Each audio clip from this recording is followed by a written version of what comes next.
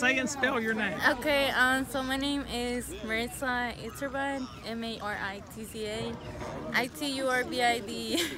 Okay. so um, I was getting home from work when I seen like a lot of cop cars and they were blocking up roads.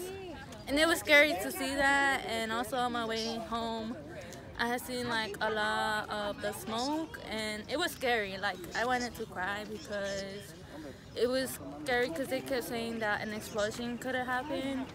But thankfully nothing happened and uh, our neighborhood is okay and they got everything under control.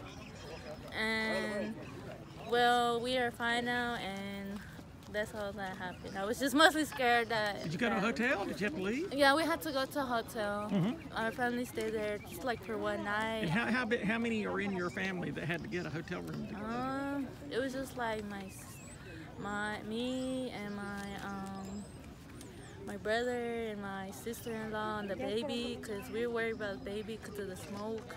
But eventually, my family returned back when like conditions were permitted. And well, yeah. Was it scary? It was scary. I wanted to cry because I was just getting home from work that night and I did not know what was happening. My sister sent me a text message. And it was just really scary to see all the smoke and, and the, the smoke was like, you could like smell, it smelled really bad.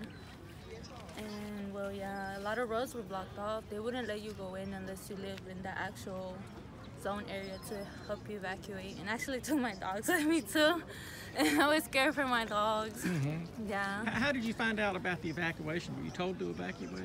The some people like they, they had in our neighborhood they were walking out like some police um, went to the doors of other people to knock to tell them to get out the neighborhood because possibly an explosion could have happened there and there was like uh, one lady who her, her grandma was like 70 78 years old and they said police had to come and get her because we seen her walking on our street right in front and police had to get her out and out of the neighborhood.